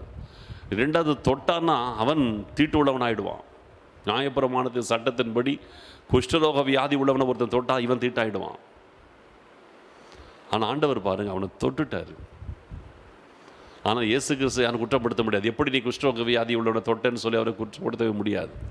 ஏன்னா தொட்டவன் அவன் சுகமாயிட்டான். சுகமான பிறகு அவனை குஷ்டரோகின்னு யாருமே சொல்ல முடியாது. இல்லையா? குஷ்டரோக வியாதி உள்ளவன் நீ எப்படி தொட்டேன் அவரை குற்றப்படுத்தினா எங்கே குஷ்டரோகம் இருக்குன்னு அவர் திருப்பி கேட்டான்னா அங்கே குஷ்டரோகமே இருக்காது. யாரும் அவரை குறை சொல்ல முடியாது. சுகமாக்கிட்டார். அப்போ நல்லா பாருங்க. இந்த அளவுக்கு தெய்வ சித்தத்தை வாஞ்சிக்கணும் நாடணும் அதற்கு நம்ம இருதயம் அர்ப்பணிப்போடு இருக்கணும். அந்த காரியத்தில் ஆண்டவரிடத்துலையே நீங்கள் கேட்கணும். உமக்கு சித்தமானால் இது எனக்கு நடக்கட்டும். உமக்கு சித்தம் இல்லைன்னா அது எனக்கு எவ்வளவு அவசியமானதாக இருந்தாலும் எனக்கு வேண்டாண்டவரே இதுதான் உண்மை. உமக்கு சித்தமானால் இது நடக்கட்டும். ஆனால் அது எனக்கு எவ்வளவு அவசியமான விஷயமானாலும் சரி உமக்கு சித்தமில்லாதது எனக்கு தேவையில்லை. இந்த ஒரு அர்ப்பணிப்பு தேவ சித்தத்தை அடையணுன்ற இந்த ஒரு அர்ப்பணிப்பு உங்களுக்கு இருந்துச்சுன்னா நிச்சயமாக சொல்கிறேன் உங்கள் லைஃப்பில் வந்து ஆண்டவர் அழகாக நடத்துவார். உங்கள் உள்ளுணர்விலே ஆண்டவர் உங்களை நடத்துவார். ரொம்ப அழகாக நடத்துவார். இப்போ இவன் செஞ்சது என்ன? ஒரு ஜெபம் பண்ண அவ்வளோதான் ஆண்டவரே உமக்கு சித்தமானால் என்னை சுத்தமாக்குமால் ஆகும். சொன்ன உடனே ஆண்டவர் அந்த அர்ப்பணிப்பை பார்த்து இமீடியட்டாக தேவ சித்தம் செஞ்சிட்டார். எப்பவுமே தேவ சித்தத்துக்கு நான் முதல்ல நான் சொல்லிட்டேன் வசனத்திலே நீங்கள் தெளிவாக இருந்தீங்கன்னா தேவ சித்தத்தில் நீங்கள் தெளிவாக இருக்கிறீங்க. ரெண்டாவது தேவ சித்தத்திற்கு சிலது உங்கள் தனிப்பட்ட லைஃப்பில் இருக்கிற விஷயம் முடிவெடுக்க வேண்டிய விஷயம் இது சரியாக தவறா இதை செய்யலாமா வேண்டாமா இப்படி ஒரு காரியம் உங்களுக்கு வரும்போது நீங்கள் உங்கள் இருதயத்தை திறந்து ஒப்பு கொடுத்து நீங்கள் ஜெபிக்கணும். இதை சாதிக்கணும்னு ஒருபோது நீங்கள் நினைக்கக்கூடாது. கிடைக்கணும்னு நீங்கள் விரும்பி நீங்கள் கேட்கக்கூடாது. புரியுதா?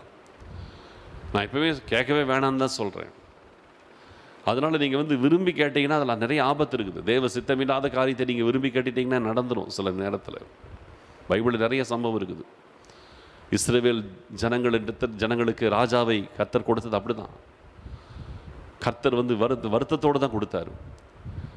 இவர்கள் உன்னை தள்ளவில்லை. நான் அவர்களை ஆளாதபடிக்கு என்னைத்தான் தள்ளினார்கள் என்று ஒன்று சாமல் எட்டு ஏழில் ஆண்டவர் சாமுவேல்கிட்ட பேசி தான் சவுலை ஏற்படுத்தும்படி வச்சார். இஸ்ரேவேல் ஜனங்கள் இறைச்சியை கேட்கும் போதும் விருப்பம் இல்லாமல் தான் கொடுத்தாரு. தெய்வ சித்தம் இல்லாமல் தான் கொடுத்தாரு. அப்போ வற்புறுத்தும் போது ஆண்டவர் செய்கிறாரு கொடுக்குறாரு. அதன் பிறகு அவங்களுக்கு பாதிப்பும் வருது. பேலையாம்கிட்ட ஆண்டவர் சொன்னார் நீ அந்த ஜனங்களை சபிக்க போக வேண்டாம்னாரு. அதையும் மிஞ்சி இவன் தொந்தரவு பண்ணான். இன்றைக்கு ஒரு நாள் தங்கட்டும். இன்றைக்கி ஒரு நாள் நான் விசாரிக்கிறேன். இன்னொரு தடவை ரெண்டு தடவை விசாரித்தான் இப்போ என்ன செஞ்சிட்டார்? ஆண்டவர் போன்ட்டாரு. புரியுது உங்களுக்கு? ஆண்டவருடைய சித்தம் அது கிடையாது. அவன் போகிற தேவ சித்தமே கிடையாது. ஆனால் அவன் திருப்பி திருப்பி போராடும் போது போன்ட்டார். போக விட்டுட்டு கர்த்தர் உருவின பட்டயத்தோடு முன்னால் வந்து நின்னார். பாருங்க இதெல்லாம் எவ்வளோ பெரிய ஒரு ஆபத்து. வற்புறுத்தி நம்ம ஒரு காரியத்தை அடைய நினைக்கும் போது அந்த காரியம் நம்மை தேவ சித்தத்திலிருந்து வெளியே தள்ளி நம்முடைய வாழ்க்கையை பாதிப்பில் கொண்டு போய் நிற்க வச்சிடும் இவங்க எல்லாமே நான் சொன்ன அத்தனை பேருமே பாதிக்கப்பட்டவங்க தான். அதனாலே ஒரு தேவ பிள்ளை என்றைக்குமே தேவ சித்தம் என்கிற விஷயத்தில் நம்ம ரொம்ப தெளிவாக ஆண்டவருக்கு விட்டு கொடுத்தணும் என் விருப்பத்தின்படி அல்ல உம்முடைய விருப்பத்தின்படி ஆகட்டும். இயேசு கிறிஸ்து தானே சொன்னார். என் சித்தத்தின்படி அல்ல உம்முடைய சித்தத்தின்படியே ஆக கடவுது சரி இதை நீங்கள் எப்படி என்ன செய்யணும்? சின்சியராக ஜெபிச்சுட்டு ஆண்டவர் உங்களை நடத்துவதற்கு அமைதி காக்கணும். சிலர் செய்கிற தப்பு என்னன்னு கேட்டிங்கன்னா இதில் இன்னொரு தப்பை நான் சொல்லி கொடுத்தாரு தேவசித்த விஷயத்தில் நிறைய பேர் செய்கிற தப்பு செஞ்சுட்டு ஜெபத்தோடு தானே செஞ்சேன் அப்படின்றவாங்க செய்கிற தப்பு செஞ்சுட்டு ஜெபத்தோடு செஞ்சேன் கத்தனையே இது ஏன் தடுக்கலைன்னுருவாங்க. அதாவது ஜெபம் பண்ணுவாங்க ஆண்டவரே இந்த காரியத்தை உமக்கு சித்தமானா செய்யுங்க ஆண்டவரே உமக்கு சித்தம் இல்லைன்னா வேண்டாம் ஆண்டவரே அப்படின்னு ஜெபம் பண்ணுவாங்க. ஜெபம் பண்ணிட்டு துரு துரு துருத்துன்னு வேலையை ஆரம்பித்து நடத்திடுவாங்க முடிச்சிடுவாங்க. ஜெபம் பண்ணிவிட்டு ஆண்டவர் என்ன சொன்னார் என்ன செய்ய வந்தார் அதுக்கு யோசிக்கவே மாட்டான். ஜெபம் பண்ணதோடு சரி மட மடன்னு வேலையை முடிச்சிடுவாங்க கேட்டேன் நான் ஜெபம் பண்ணது தான் ஜெபம் பண்ணி தானே செஞ்சேன். நான் ஜெபிக்காமல செஞ்சேன் நான் எவ்வளோ தூரம் ஜபிச்சேனே அப்படின்னு ஆண்டவர் மேலே படி தூக்கி போட்டுருவாங்க. அடுத்தது இன்னொரு படி போடுவாங்க.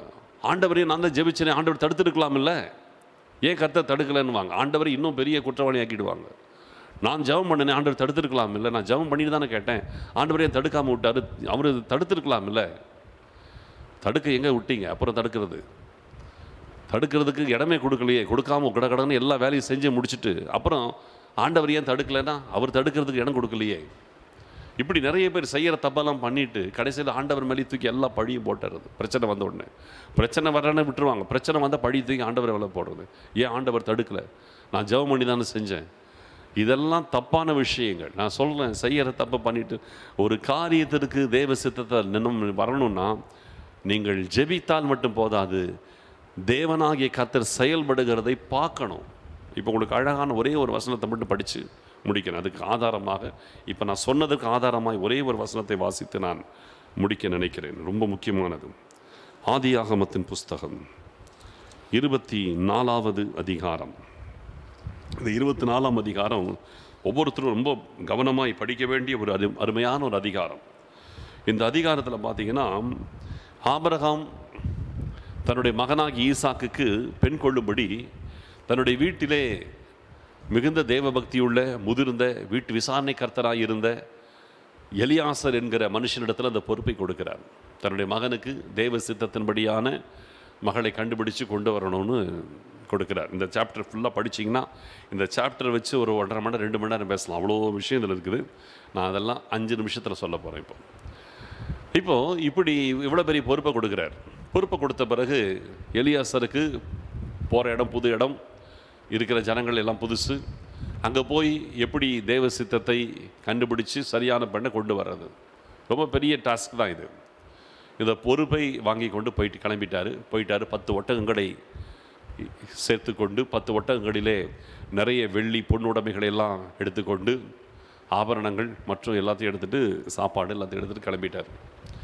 போய் அந்த ஊரில் போய் சேர்ந்தாச்சு. சேர்ந்த பிறகு இது இப்போ வந்து முதலாவது இவருடைய அனுபவம் பேசுது. எலியாசருடைய அனுபவம் பேசுது. அனுபவம் என்ன சொல்லுது? அந்த இடத்துல போனால் ஒரு தண்ணீர் துறவு இருக்குது. இப்போ அனுபவம் பேசுது. என்ன சொல்லுது? இந்த தண்ணீர் துறை வண்டியில் போய் நில்லு. வாலிப பெண்கள் திருமணமாகாத பெண்கள் தண்ணி எடுக்கிறதுக்கு இங்கே வந்து தண்ணி எடுக்க வருவாங்க. அப்படி வரும்பொழுது அந்த பெண்களிலே ஒரு பெண்ணை வந்து செலக்ட் பண்ணிடலாம். இது அனுபவம் பேசுது. இப்போ இந்த அனுபவத்தோடு அவர் கரெக்டாக எங்கே போனால் கிடைக்குன்ற அனுபவத்தோடு அது நிற்கிறார் வந்து நின்றுட்டு சின்ன ஒரு ஜெபம் ஆண்டவர்கிட்ட. அதை மட்டும் நான் படிக்கிறேன் பாருங்கள் இருபத்தி நாலு பன்னெண்டு ஆதியாகம் இருபத்தி நாலு பன்னெண்டு. என் எஜமானாகிய ஆபிரகாமுக்கு தேவனாய் இருக்கிற கர்த்தாவே இன்றைக்கு நீர் எனக்கு காரியம் சித்திக்க பண்ணி என் எஜமானாகிய ஆபிரகாமுக்கு தயவு செய்தருளும். இதோ நான் இந்த தண்ணீர் துற வண்டியிலே நிற்கிறேன். இந்த ஊராருடைய பெண்கள் தண்ணீர் முள்ள புறப்பட்டு வருவார்களே. இது அனுபவம். அனுபவத்தில் பேச புறப்பட்டு வருவார்களே. அனுபவத்தோடு சொல்கிறார் நான் குடிக்க உன் குடத்தை சாய்க்க வேண்டும் என்று நான் சொல்லும்போது குடி என்றும் உன் ஒட்டகங்களுக்கும் குடிக்கும்படி வார்ப்பேன் என்றும் சொல்லும் பெண் எவளோ? அவளே நீர் உம்முடைய ஊழியக்காரனாகிய ஈசாக்குக்கு நியமித்தவளாயிருக்கவும் என் எஜமானுக்கு அனுக்கிரகம் செய்தீர் என்று நான் அதனாலே அறியவும் செய்தருளும் என்றான். எவ்வளவு ஷார்ப்பாக ஒரு சின்ன ஜெபத்தை வந்து அவன் செய்கிறான் மனசுக்குள்ளே தான் சத்தமாக கூட ஜெபிக்கலை. தனக்குள்ளே சொல்லி கொண்டான் ஏன்னா பதினோராம் வசனத்தின் கடைசி வசனம் பாருங்கள் ஒட்டங்களை மடக்கி தனக்குள்ளே சொல்லி கொண்டது என்னவென்றால் இந்த ஜெபத்தை அவன் சத்தமாக கூட செய்யலை. சத்தமாக சொல்லியிருந்தா கூட இந்த ஜெபத்தை ஒரு பெண் கேட்டுட்டு வந்துட்டான்னு சந்தேகப்படுறதுக்கு வாய்ப்பு இருக்குது வாயில் கூட இந்த ஜெபத்தை சொல்லலை. மனசுக்குள்ளேயே தான் சொல்லிக்கிட்டான். யாருக்கும் தெரியாது ஜபம் ஜெபம் பண்ணது. அவன் ஜெபம் பண்ணிட்டு மனசுக்குள்ளேயே ஒரு ஜெபம் பண்ணிட்டு அப்படியே நிற்கிறான் அப்போ ஜெபிச்ச உடனே அந்த அவன் பாருங்க இப்படி அவன் சொல்லி முடிக்கும் முன்னே பதினஞ்சாம் வசனம் பாருங்க அவன் இப்படி சொல்லி முடிக்கும் முன்னே இது ஆபரகாமுடைய சகோதரனாகிய நாகூரின் மனைவி மில்காலுக்கு மில்காலுடைய குமார குமாரனாயிருந்த பெத்துவேலுக்கு பிறந்த ரெபேக்கால் குளத்தை தோல்மையில் வைத்துக்கொண்டு புறப்பட்டு வந்தாள். அந்த ஜபத்தை மனசில் அப்படி நினைச்ச உடனே கரெக்டாக ரெபேக்கால் வந்து நிற்கிறான் சரியா? இது தேவ நடத்துதல். இது ஆண்டவர் செய்கிறாரு இவன் மனசில் நினச்ச உடனே அதை அப்படியே கர்த்தர் ப்ரேயராக வச்சு அப்படியே உடனே கர்த்தர் ரெபேக்கால் அனுப்பி வைக்கிறார். ஆனால் எலியாசருக்கு இந்த பொண்ணு தான் தெரியாது. இப்போ எலியாசருடைய லைஃப்பில் பார்த்தீங்கன்னா அவன் ஜெபம் பண்ணிட்டாரு. நான் எனக்கு தண்ணி கேட்டால் எனக்கும் கொடுக்கணும் உன் ஒட்டகங்களுக்கு வார்ப்பின்னு சொல்லி மனமு வந்து ஒட்டகத்துக்கும் சேர்த்து தண்ணி கொடுக்கணும். பத்து ஒட்டகங்களுக்கும் தண்ணி கொடுக்கணும். இது ஜெபம் பண்ணிட்டு அவர் வந்து உடனே அவர் வந்து வேகம் ஒன்றும் இறங்கலை. எனக்கு அழகாக பிடிச்ச ஒரு அருமையான வார்த்தை என்ன தெரியுமா? ரெவேக்கால் வரா வந்த உடனே அதே மாதிரி கேட்குறாரு. எனக்கு குடிக்க தண்ணி வேணும்னு கேட்குறாரு. கேட்ட உடனே அவள் வந்து குடியும் என் ஆண்டவரை சொல்லி தண்ணி கொடுத்து உங்களுடைய ஒட்டகங்களுக்கும் வார்ப்பேன் அப்படின்னு சொல்லி ஒட்டகத்திற்கும் அவள் என்ன ஜெபிச்சாரோ அதே மாதிரி அவள் நடந்துட்டா. பத்து ஒட்டகங்களுக்கும் தண்ணி கொடுத்துட்டா. இப்போ சாப்டர் க்ளோஸ் தானே? நல்லா கவனிங்க. அவன் என்ன ஜெபித்தாரோ அப்படி நடந்துருச்சு. என்ன வார்த்தையை சொன்னாரோ அது அப்படியே அந்த பெண்ணுடைய வாயில் வருது. குடியும் என் ஆண்டவர் உடைய ஒட்டங்களுக்கும் வார்ப்பேன். இப்படி சொல்லும் பெண் எவ்வளோ அப்படின்னார். அதே மாதிரி அந்த ரெபேக்கால் வாயில் அதே சேம் வார்த்தை வந்துருச்சு. இப்போ என்ன? கட கட கட ரைட்டுமா? நீதாம்மா எங்கள் வீட்டு மருமக. அப்படின்னு பேசியிருக்கணும் இல்லை நல்லா கவனிக்கணும். தேவ சித்தத்தை ஒரு மனுஷன் அடையிறதுக்கு எவ்வளவு தெளிவாக இருக்கிறோம் பாருங்கள் நம்ம என்ன செய்கிறோம் ஒரு காரியத்துக்கு நம்ம ஜெபிக்கிறோம். ஜெபிச்சுட்டு ஒரு சின்ன ஒரு சிக்னல் அப்படி கிடச்சிருச்சுன்னா போதும். ஓ தேவ சித்தம் தேவ சித்தம்னு ஓடுறது. நிறைய பேர் இப்படி தப்பு பண்ணிடுறாங்க. நான் எத்தனை ஊழியத்தின் பாதையில் நான் நிறைய பேரை பார்ப்பேன். சிலர் வந்து ஊழியத்துக்கு வரணும் ஊழியத்துக்கு வரணும் அப்படி ரொம்ப அப்படியே அதுதான் பெரிய இதுன்ட்டு நினைப்பாங்க. ஊழிய உண்மையிலே மேன்மை தான் அதே நேரத்தில் வந்து ஆண்டவருடைய சித்தம் இல்லாமல் நிற்க முடியாது. ஏன்னா அதில் வர்ற பிரச்சனைகள் போராட்டங்கள் டென்ஷன் பிசாசுடைய போராட்டம் அதெல்லாம் தாண்டி ஒருத்தர் நிற்கணும்னா தேவ சித்தம் இல்லாமல் அழைக்கப்பட்டு நிற்க முடியாது. ஆனால் மற்ற ஒருத்தரை ஏதாவது ஒருத்தரை பார்த்துட்டு இதே மாதிரி நம்மளும் இருந்தால் என்ன? அப்படின்னு ஆர்வத்தோடு இருப்பாங்க. நான் நிறைய பேரை பார்த்துருக்கேன். என்னோட இருந்த நிறைய பேரை நான் பார்த்துருக்குறேன். அந்த ஆர்வத்தோடு இருப்பாங்க. ஒரு கூட்டத்தில் போவாங்க. ஆத்துமாக்கள் அழிகிறதுன்னு ஒரு பிரசங்கம் பண்ண உடனே ஓ கர்த்தரை அடிச்சிட்டாருன்றவாங்க. அதுக்கு அவங்க மைண்டில் வந்து நம்மளும் இதே மாதிரி போய் பிரசங்கம் பண்ணணும் நம்மளும் இப்படி பண்ணணும்னு ஒரு ஆர்வம் அப்படியே மைண்டில் அப்படி பொங்கிட்டு இருக்கோம். ஒரு கூட்டத்தில் போனோடனே ஆத்துமாக்கள் அழிகிறது யார் எனது காரியமாய் போவார்கள்னு ஒரு பிரசங்கர் பிரசங்கம் பண்ணிட்டா போதும். ஓ கர்த்தரனை அடிச்சிட்டான்னு ஒரு ஜம்ப் பண்ணிவிடுவாங்க அந்த பிரசங்கத்தை கேட்டோம்னா அடுத்த நாளே தூக்கி வேலையை தூக்கி போட்டு ஓடியே போயிடுவாங்க. கடைசியில் கொஞ்ச நாள் திரும்பி வந்து நிற்பாங்க ஐயோ ஓடி வேண்டாம் ஒன்று வேணான்னு வந்து நிற்பாங்க நிறைய பேர் அப்படி ஆயிருக்கிறாங்க நான் பார்த்துருக்கேன். சில விட்டுட்டு ஓடி வந்தவங்க இருக்கிறாங்க. நார்த் இந்தியாவுக்கெல்லாம் போயிட்டு ஓடி வந்தவங்க இருக்கிறாங்க. சிலர் வந்து இதுக்கும் இல்லாமல் அதுக்கும் இல்லாமல் ஊழியத்திலையும் செய்ய முடியாமல் உலக வேலைக்கு திரும்பி வர முடியாமல் ரெண்டுக்கு நடுவில் பார்த்து வறுமையில் மாட்டி பரிதாபமாய் நசுங்கி போனவங்க நிறைய பேர் இருக்கிறாங்க. நான் நிறைய பேர் பார்த்துருக்கேன்.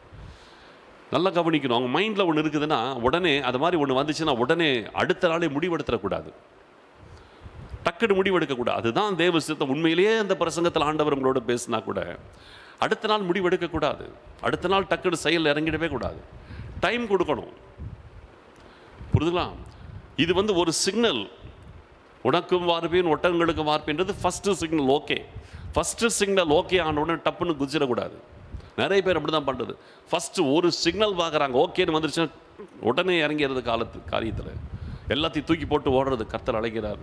இது ஊழியத்துக்கு சொல்கிறேன் எல்லாத்துலேயுமே சொல்கிறேன் கர்த்தர் செய்ய சொல்லிட்டார் அப்படின்னு உடனே ஜம்ப் பண்ணி இறங்கிறது அங்கே தான் பிரச்சனையே வரும். ஒரு சிக்னலை வச்சுட்டு இறங்கக்கூடாது. ஒரு காரிய சிக்னல் ஓகேன்னு வந்துருச்சு. நம்ம நினச்ச மாதிரி ஒன்று நடந்துச்சுன்னா உடனே டேக் இட் ஃபார் கிராண்டட் அப்படி எடுத்துக்கூடவே கூடாது. இந்த எலியசர் என்ன பண்ணார் பார்த்தீங்களா? இது நடந்துச்சு. தண்ணியை உனக்கும் வார்ப்பேன் ஒட்டங்களுக்கு வார்ப்பேன்னு சொல்லி இருபதாவது வசனம் பார்த்தீங்கன்னா சீக்கிரமாய் தன் குடத்தை தண்ணீர் தொட்டியிலே ஊற்றிவிட்டு இன்னும் மொண்டு வர துறவண்டையிலே ஓடி அவனுடைய ஒட்டங்களுக்கெல்லாம் மொண்டு வார்த்தாள். பத்து ஒட்டங்களுக்கும் தண்ணி கொடுக்குறான். இத்தனை நடந்துருச்சு சொன்னபடியே நடந்துருச்சு எல்லாம் முடிஞ்சிருச்சு. எலியாசர் அவசரமே படலை. அடுத்த வார்த்தை தான் அற்புதமான வார்த்தை. அந்த மனிதன் அவளை குறித்து ஆச்சரியப்பட்டான் ஆச்சரியம் தான் பட்டான். ஆச்சரியப்பட்டு கர்த்தர் தன் பிரயாணத்தை வாய்க்க பண்ணினாரோ இல்லையோ என்று அறியும் பொருட்டு மௌனமாயிருந்தான். இதுதான் அங்கே மேட்டர் இதுதான் மேட்டர் மௌனமாக இருந்தான்னு வருது பாருங்க அந்த வார்த்தை. இதுதான் விஷயமே. இப்போ ரெபேக்கால பொறுத்த மட்டும் இவனுக்கு சிங்கிள் கிரீன் சிங்கிள் விழுந்துருச்சு. ரெபே- ரெபேக்காவுடைய ஆக்டிவிட்டீஸை வச்சு இது தேவ சித்தம் அப்படின்னு ஒரு கிரீன் சிங்கிள் விழுந்துருச்சு. உடனே ஓகே அப்படின்னு சொல்லிடல. இப்போ இங்கே கிரவுண்டில் கிரீன் சிக்னல் விழுந்தாலும் மேலே என்ன சிக்னல் வருதுன்னு பார்க்குறான். அவன் கேட்டது கீழே கரெக்டாக நடந்துருச்சு பூமியில். மேலே நடக்குது. அவன் என்ன செய்கிறான் பாருங்க கர்த்தர் தன் பிரயாணத்தை வாய்க்க பண்ணினாரோ இல்லையோ என்று அறியும் பொருட்டு மௌனமாக இருந்தான் பேசாமல் இருந்தான். உடனே வாய் விடலை அவசரப்படலை வாய் விடலை. வாமா நீங்கள் தாம்மா நீ தான் கர்த்தர் காட்டின ஆள் நீ தாமா ஒன்றும் சொல்லலை. மௌனமாக இருக்கிறான். அந்த மௌனமாக இருந்த நேரம்தான் ஆண்டவர் அவனுக்கு எல்லாத்தையும் உறுதிப்படுத்தின ஒரு நேரம். என்றைக்குமே ஒரு காரியத்திலே நீங்கள் ஒரு ஜெபிச்சீங்க ஒரு காரியம் செஞ்சீங்க உடனே ஒரு சின்ன க்ரீன் சிக்னல் அப்படி பளிச்சுன்னு தெரிஞ்ச உடனே உடனே ஜம்ப் பண்ணாதீங்க. உடனே எடுத்து செஞ்சிடாதீங்க. அது பிஸ்னஸாக இருக்கட்டும் ஒரு பொருளை வாங்குறதா இருக்கட்டும் என்ன வேணா இருக்கட்டும். என்ன விஷயமா உடனே ஜம்ப் பண்ணாதீங்க. மௌனமாக இருக்க கற்றுக்கொள்ளுங்கள். மௌனமாக இருக்கணும். எந்த ஆக்டிவிட்டீஸும் பண்ணக்கூடாது. மௌனமாக இருக்கணும். இருந்தீங்கன்னா ஆண்டவர் உங்களுக்கு அதை ஒன்றுக்கு பலம் விதத்திலே உங்களுக்கு கன்ஃபார்ம் பண்ணுவார். உங்க உள்ளத்திலே உள்ளத்திலையும் சரி வெளியிலையும் சரி உள்ளே அந்த மௌனமாக இருக்கிற நேரத்தில் ஒரு தேவ சமாதானம் ஆளுகை செய்யும். இல்லைன்னா அந்த மௌனமாக இருக்கிற நேரத்தில் குழப்பங்கள் மிஞ்சும். புரியுதுங்களா அந்த மௌனமாக இருக்கிற நேரம் தான் இருக்கிறதுல முக்கியமான நேரம். அந்த மௌனமாக இருக்கிற நேரத்தில் உங்கள் உள்ளத்தில் ஒரு தெய்வீக அமைதி ஒரு நிம்மதி சமாதானம் மன நிறைவு அப்படியே வருதா? எஸ் நீ ப்ரொசீட் பண்ணு அப்படின்னு அப்படி வருதா? அப்போ நீங்கள் யோசிக்கணும். அதே நேரத்தில் வெளிப்படையாக உங்களுக்கு ஒரு பல விஷயங்களிலே அதுக்கு சாதகமாய் தொடர்ந்து பல விஷயங்கள் நடக்கும். இது எல்லாத்தையும் பார்க்கணும். இந்த மௌனமாக இருக்கிறது தான் முக்கியம். கொஞ்ச நேரம் மௌனமாக இருக்கணும். அந்த நேரத்தில் ஆண்டவர் உங்களுக்கு எல்லாத்தையும் வெளிப்படுத்துவார். உள்ளே சமாதானம் வெளியில் காரியங்கள் அதற்கு அனுகூலமான காரியங்கள் நடப்பது. தெய்வ சித்தம் இல்லைன்னா நீங்கள் அந்த மௌனமாக இருக்கிற நேரத்தில் எல்லாம் வேறு மாதிரி ஆகிடும் தெய்வ சித்தமானா எல்லாம் சாதகமாக நடக்கும். தெய்வ சித்தமாக இல்லைன்னு வச்சுக்க அந்த மௌனமாக இருக்கிற நேரம் தான் முக்கியமான நேரம். தெய்வ சித்தம் இல்லைன்னா அந்த மௌனமாக இருக்கிற நேரத்தில் உங்கள் உள்ளத்தில் சமாதானம் போயிடும். ஃபஸ்ட்டு குழம்பிடும். குழப்பம் பொங்கும். ஏன்டா இது பண்ணணும்? எதுக்கு நம்ம இது செய்யணுமா? செய்யணுமா? வேண்டாமா? எதுக்கு இதில் காலை வச்சோம் இது நம்ம அப்படின்னு ஒரு தவிப்பு குழப்பம் வந்துடும் உங்களுக்கு. நிம்மதி போயிடும். உடனே நீங்கள் கவனமாயிடணும். ரெண்டாவது அது வரைக்கும் நல்லா போயிட்டுருக்கோம். தப்புன்னு எல்லாம் கிளாஷ் ஆகிடும் இப்போ இது வரைக்கும் நல்லா தான் போச்சு. என்ன? உனக்கும் மார்பேன் ஒட்டங்களுக்கும் மார்பேன் நல்லா போச்சு. இந்த ரெபேக்கால் மட்டும் தேவ சித்தமில்லைன்னு வச்சுங்க அடுத்த கொஞ்ச நேரத்துலேயே ரெபேக்கால் வந்து என்ன செஞ்சிருப்பா? என்ன உங்களுக்கு ஒரு வேலை இல்லையே? இங்கே வந்து நான் தண்ணி பிடிச்சிட்டு போகலான்னு வந்து இந்த நேரத்தில் வந்து இப்படி பண்ணிட்டேன்னு ஏதாவது ஒன்று வாய வார்த்தை விட்டுருப்பா. அங்கே சூழ்நிலையை கிளாஷ் ஆகிட்டு இருக்கும் முடிச்சுன்னு யோசிச்சு பாருங்களேன். அந்த மௌனமாக இருக்கிற ரெபேக்கால் மட்டும் எலியாசர்கிட்ட கடுமையான ஒரு வார்த்தை பேசி நான் வந்து ஒரு த குடம் தண்ணி எடுத்துகிட்டு போக வந்தேன் என் டைம் எல்லாம் வேஸ்ட் பண்ணிட்டே ஐயா? யார் யா நீ? எங்கேருந்தியா வந்த? அப்படின்னு ஒரு வார்த்தை சொல்லியிருந்தாலும் வச்சுங்க எல்லாம் கிளாஷ் ஆகிட்டு இருக்கும் இந்த மாதிரி வந்துடும் ஏதாவது ஒரு காரியம் எதிர்மறையாக நடந்துடும் அத்தனையும் உடஞ்சிரும். அப்போ நீங்கள் புரிஞ்சுக்கலாம் ஓஹோ இது தேவ சித்தம் இல்லை. அதனால தான் எல்லாம் கிளாஷாக போச்சுன்னு விட்டுறணும். இது பாருங்கள் அந்த மௌனமாக இருக்கும்போது எல்லாம் அழகாக ப்ரொசீட் ஆகுது. அந்த மௌனமாக இருக்கிற நேரம்தான் ஆண்டவர் உங்களோடு இடைப்படுகிற நேரம் உங்களுக்கு உள்ளும் இடைப்படுவார் உங்களுக்கு வெளியிலையும் ஆண்டவர் இடைப்படுவார். இதை நீங்கள் அறிந்து அந்த நேரத்தில் அமைதியாக இருந்து நீங்கள் நிதானமாய் செயல்படும் போது அது முழுக்க முழுக்க தேவ சித்தமாய் அழகாய் அமையும். ரொம்ப கவனமாக இருக்கணும். இதில் ஒரு சின்ன மிஸ்டேக் நடந்தாலும் அது மிகப்பெரிய பேரிழப்பாய் மாறிடும். எந்த காரியமானாலும் முதலாவது வசனம் ரெண்டாவது ஜெபம். ஜெபித்த பிறகு ஆண்டவருக்காக காத்திருக்கணும். காத்திருக்கணும். இதெல்லாம் செஞ்சீங்கன்னா தெய்வ சித்தத்தில் கரெக்டாக இருப்பீங்க. உங்கள் காரியங்கள் நேர்த்தியாக இருக்கும். நீங்கள் செய்கிறது வாய்க்கும். தேவன் செய்வது எதுவோ அது நிலைத்திருக்கும். எல்லாத்துக்கும் மேலே நீங்கள் பரலோகத்துக்குள்ளே வந்து சேர்ந்துருவீங்க. இதுதான் முக்கியம். ஜெபிக்கலாம். ஸ்தோத்திரம். தேவ சித்தத்தை நம் வாழ்க்கையில் எப்படி அடைவது என்பதை எளிமையான விதத்தில் இன்றைக்கி நம்ம பார்த்துருக்கிறோம். தெய்வ சித்தத்தை நம் வாழ்க்கையில் எப்படி அடைவது? எப்படி அறிவது? எப்படி புரிவது? எப்படி அது நம்ம வாழ்க்கையிலே ஆண்டவர் கொண்டு வருவார்? ஆண்டவர் எப்படி இந்த விஷயத்தில் நம்மளை டீல் பண்ணுவார் என்பதையும் நம்ம பார்த்தோம். இதிலெல்லாம் நீங்கள் ரொம்ப கவனமாய் நிதானத்தோடு ஒரு காரியத்தை நீங்கள் கையாண்டிங்கன்னா கரெக்டாக போய் முடியும். அவசரப்பட்டு ஒரு சின்ன ஜாம் வந்துட்டு மடமடன்னு நீங்களே வேலையை பார்த்தீங்கன்னா கடைசியில் பிரச்சனையாயிடும். கடைசியில் நீங்கள் சொல்வீங்க நான் ஜெபம் பண்ணி தானே செஞ்சேன். ஆண்டவர் ஏன் தடுக்கலை? தடுக்க இடம் கொடுக்கலையே அப்புறம் எப்படி அவர் தடுக்க முடியும்? இதெல்லாம் இந்த மாதிரி தப்பெல்லாம் நடக்கும். நிறைய பேர் இந்த மாதிரி தப்பு செஞ்சுருக்கிறாங்க. நான் பார்த்துருக்குறேன். அதனால தான் இந்த வார்த்தையில் நான் அப்படியே நான் சொல்கிறேன் கடைசியில் எல்லாம் பண்ணிட்டு ஆண்டவரையே தடுக்கலன்னு தடுக்கலைன்னு ஆண்டவர் மேலேயே பழி போட்டு திட்டுவாங்க. இப்படி ஆட்டில் நான் நிறைய பார்த்துருக்கேன். அதனால தான் சொல்கிறேன் ரொம்ப நிதானமாக இருக்கணும். ஏன்னா நம்ம வாழ்க்கை விஷயம் இந்த உலகத்தின் காரியம் மட்டுமல்ல அது நித்தியத்தை சார்ந்த விஷயம். எவ்வளவு கேர்ஃபுல்லாக இருக்கணும். தெய்வ பிள்ளையே ஆண்டவர் உங்களை நடத்த ஆசைப்படுறாரு. அவர் கையை பிடிச்சி நடங்க. அவருக்காக காத்திருங்க. வேதத்தின் அடிப்படையில் பாருங்க. ஜெபித்து காத்திருங்க. ஆண்டவர் செய்வார். நீங்கள் அவருடைய பிள்ளையாச்சே உங்களை நடத்தாமல் விடுவாரா? கண்டிப்பாக நடத்துவார். ஸ்தோத்திரம் ஆண்டவரே எங்கள் அருமையான பரிசுத்தம் உள்ள பிதாவே உமது சித்தத்தை எங்களுக்கு எவ்வளவு தெளிவாய் காண்பிக்க நீங்கள் நினைக்கிறீங்க? நாங்கள் அதை கவனித்து நடந்து எப்பொழுதும் உடைய சித்தத்திலே வாழ்ந்து முடிவிலே உடைய ராஜ்யத்தில் வந்து சேர எங்களுக்கு உதவி செய்யுங்க.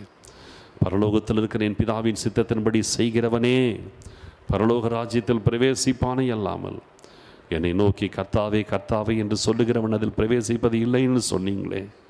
நாங்கள் எவ்வளவு கேர்ஃபுல்லாக இருக்க வேண்டியிருக்குதப்பா எங்களை காத்து கொள்ளுங்க நடத்துங்க ஆசீர்வதிங்க. நீங்கள் மாத்திரம் மகிமைப்படுங்கப்பா ஸ்தோத்திரம். ஸ்தோத்திரம் ஸ்தோத்திரம். துதி கன மகிமை யாவற்றையும் நாங்கள் உமக்கு மாத்திரம் செலுத்துகிறோம். இயேசு கிறிஸ்துவின் மூலம் ஜெபிக்கிறோம். நல்ல பிதாவே ஆமேன். என் ஆத்துமாவே கத்தரை ஸ்தோத்தரி. என் முழு உள்ளமே அவருடைய பரிசுத்த நாமத்தை ஸ்தோத்தரி. என் ஆத்துமாவே கத்தரை ஸ்தோத்தரி. அவர் செய்த சகல உபகாரங்களையும் மறவாதே. ஆமே ஆமே ஸ்தோத்திரம்.